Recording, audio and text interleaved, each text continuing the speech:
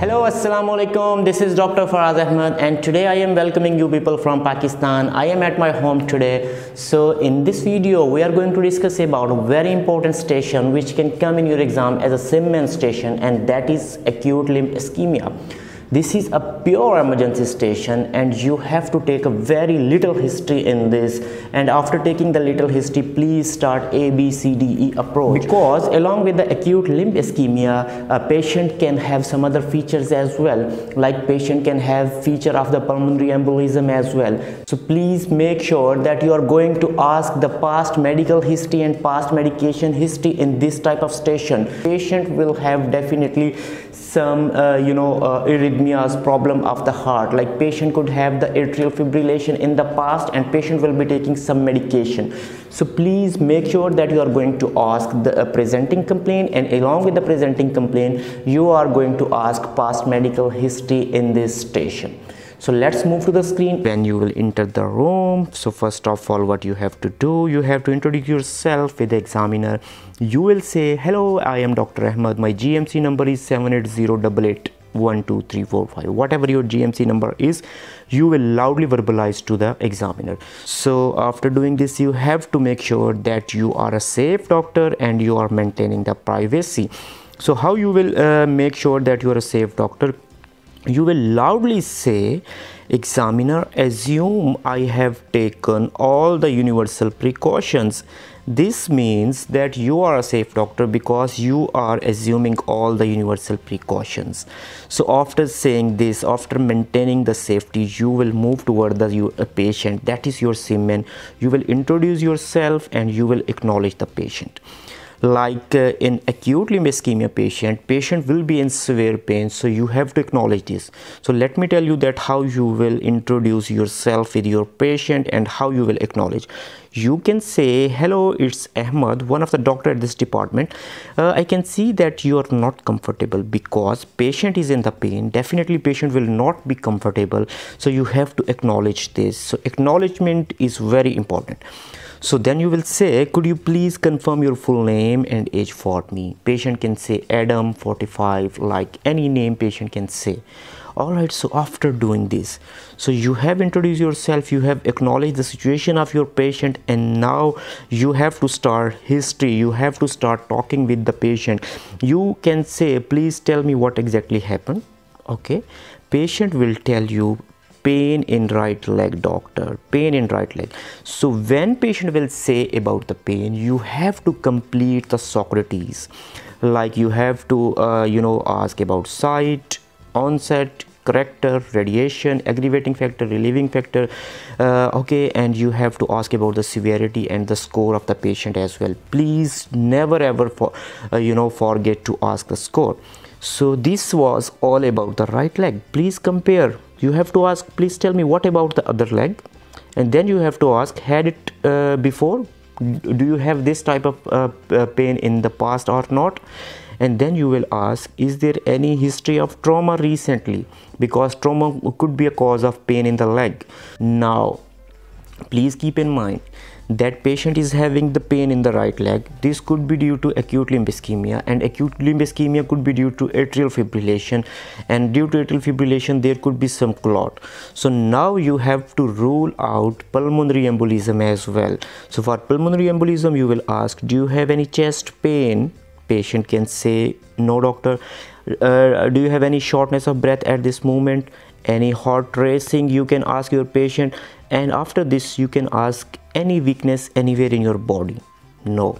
So still uh, you have to ask about the any travel history? Are you living a, a, mobile lifestyle or sedentary lifestyle? Then you have to ask about the mma this is very very important. Medication past medical history and allergic history and apart from this smoking history are very very important in acute limb ischemia station. So what could be the uh, you know past medical history? Uh, in past medical history you can ask and when you will ask patient will say doctor i am a diagnosed case of atrial fibrillation. So then you have to ask how you are managing. Are you regular with the medication or not so, so, when you will ask about the smoking patient can give you the history like doctor i am taking 20 cigarettes 30 cigarettes 40 cigarettes uh, a day for uh, uh, last 20 30 40 years. So you have taken all the relevant history. In this way you will take the history so now what you have to do you have to go for the ABCDE approach. And before going you will say verbalize this. Adam I am going to assess you. It will include look feel tap listen to different parts of your body. Please be assured a member of medical team is with me and he is acting as a chaperone and we are maintaining your privacy.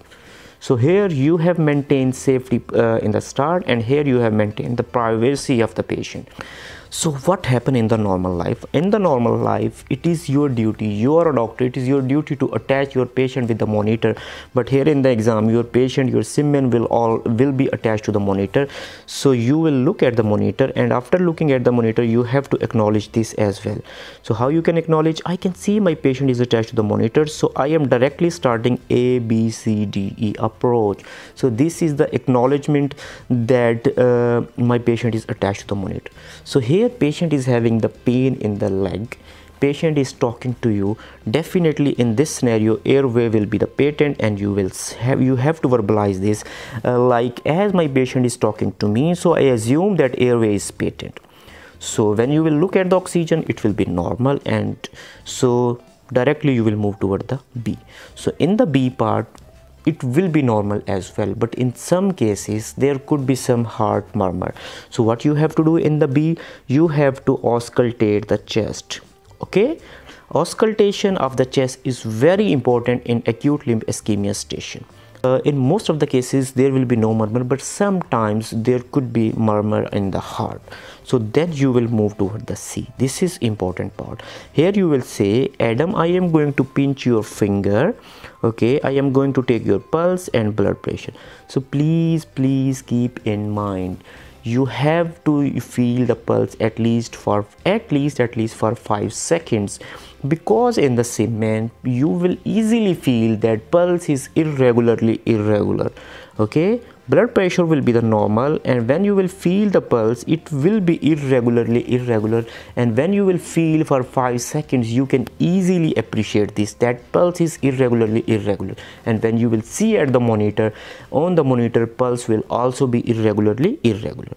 So then what you will do i am going to insert one large bore iv cannulas and i will take the some bloods for the routine blood investigations. So then what you have to do you have passed the one large bore iv cannula and you have asked about the pain score in the history. So depending upon the pain score you have to give painkiller to your patient depending upon the pain score. If the pain score is 8 or more than 8 please give morphine directly. Pain score is 8 or more than 8 give morphine. If pain score is less you have to start with a paracetamol all right. So after doing this what we will do? We will move toward the d and d is the deformity over here. In the d what we have to do? We have to check the blood blood sugar and temperature.